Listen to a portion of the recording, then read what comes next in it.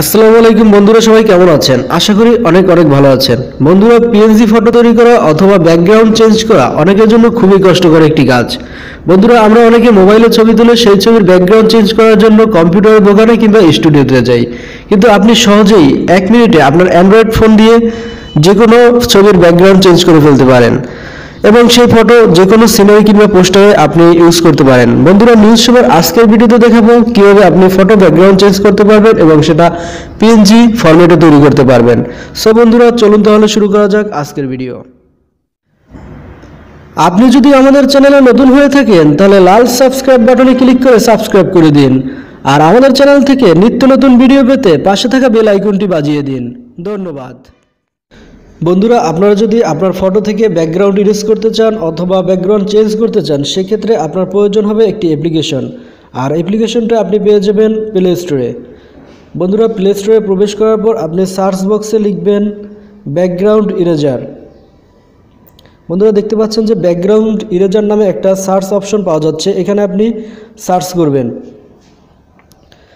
Search করার পর তৃতীয় নম্বর অপশনে দেখা যাচ্ছে ব্যাকগ্রাউন্ড ইরেজার নামে একটি অ্যাপ্লিকেশন। ওয়ান পয়েন্ট এইট এমবির মাত্র একটি অ্যাপ্লিকেশন। এই অ্যাপ্লিকেশনটি আপনি ইনস্টল করবেন।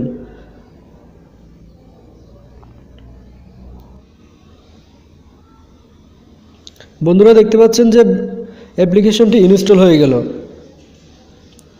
বন্ধুরা, আপনারা দেখতে পাচ্ছেন যে অ্যাপ্লিকেশনটি অলরেডি ইনস্টল হলো। আপনি এখন এখান থেকে ওপেন বাটনে ক্লিক করে আপনি অ্যাপ্লিকেশনটাকে ওপেন করবেন।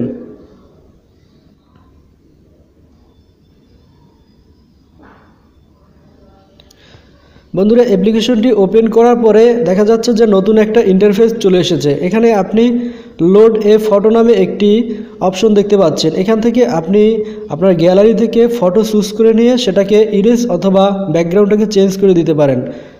তাহলে আমরা এখান থেকে এখন একটা ফটো নিয়ে নেব।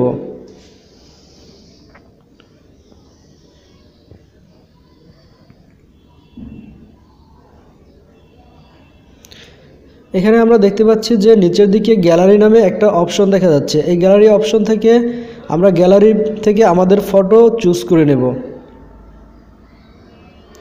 বন্ধুরা, আমি এখান থেকে এই ফটোটা চুজ করে নিচ্ছি। আসার পরে আপনি ডাবল ক্লিক করবেন। ডাবল ক্লিক করার পর ফটোটা এখানে চলে আসবে। চলে আসার পর ডানে ক্লিক করবেন। ডানে ক্লিক করার পর দেখতে পাচ্ছেন যে কয়েকটি এখানে টুলবার চলে আসছে।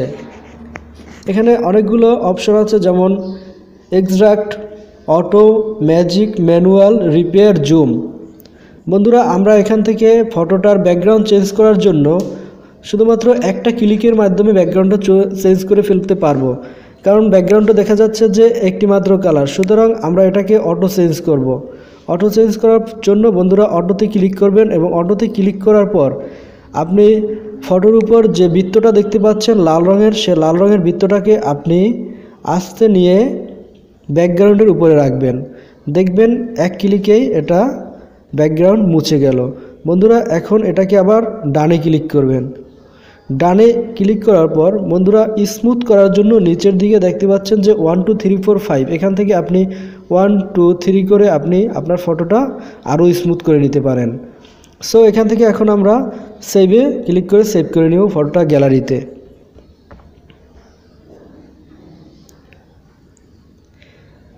বন্ধুরা, এখন আমি আরেকটা ফটো নিয়ে আপনাদেরকে দেখাবো। যদি ব্যাকগ্রাউন্ডের কালার একই কালারের না হয়, সেক্ষেত্রে আপনি কীভাবে ব্যাকগ্রাউন্ডটা চেঞ্জ করবেন? সেক্ষেত্রে ব্যাকগ্রাউন্ডটা কিন্তু একভাবে চেঞ্জ হবে না। বন্ধুরা, আমি এখন একটি ফটো নিয়ে নিচ্ছি, যার ব্যাকগ্রাউন্ড এক কালার নয়।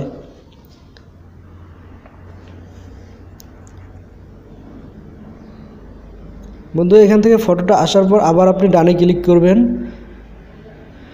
ডানে ক্লিক করার পর এই ফটোটা অটো ব্যাকগ্রাউন্ড চেঞ্জ করা যাবে না, কারণ ফটোটার ব্যাকগ্রাউন্ড একই কালার নয়। সুতরাং আপনি এটা থেকে ম্যানুয়াল অথবা ম্যাজিক টুল দিয়ে আপনি এটাকে ব্যাকগ্রাউন্ড ইরেজ করতে পারবেন।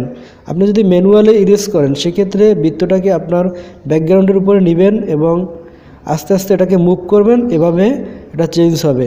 অ্যান্ড এটাকে আপনি আবার ম্যাজিক টুল দিয়েও আপনি এটাকে ব্যাকগ্রাউন্ড ইরেজ করতে পারেন। সেক্ষেত্রে ম্যাজিকে যদি আপনি ক্লিক করেন, আপনি এখন আস্তে আস্তে এটাকে মুভ করবেন এবং এটা চেঞ্জ হতে থাকবে। এবং এটা ব্যাকগ্রাউন্ডটা মুছে যাবে। বন্ধুরা, আপনারা এই দুই পদ্ধতিতে এটাকে ইরেজ করতে পারেন। তবে সবচেয়ে ম্যাজিক টুলসের মাধ্যমে ইরেজ করলে আপনি সহজেই এটাকে ইরেজ করতে পারবেন।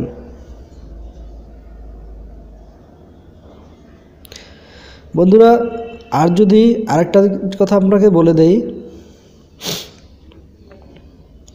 বন্ধুরা, আরেকটা জিনিস আপনাদেরকে দেখিয়ে দিচ্ছি যে আপনার যদি ইরেজটা অতিরিক্ত হয়ে যায় বা ফটোর উপরে চলে যায়, তাহলে কীভাবে আপনি এটাকে আবার পুনরায় আগের মতো নিয়ে আসবেন? সেক্ষেত্রে আপনি দেখতে পাচ্ছেন যে আন্ডু বাটন আছে। আন্ডু বাটনে ক্লিক করবেন। আন্ডু বাটনে ক্লিক করলে আবার আগের মতো জায়গায় আপনাকে নিয়ে আসবে। এরপর আবার ইরেজ করে নেবেন।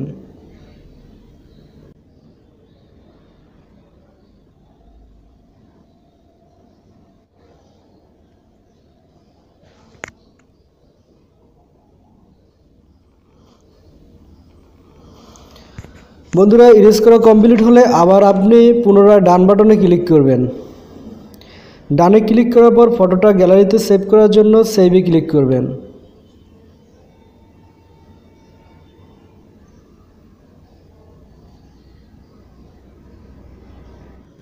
বন্ধুরা, আজ তাহলে এ পর্যন্তই। দেখা হবে নেক্সট ভিডিওতে নতুন কোনো অ্যান্ড্রয়েড টিপস নিয়ে আশা করি সে পর্যন্ত ভালো থাকবেন, সুস্থ থাকবেন। ধন্যবাদ।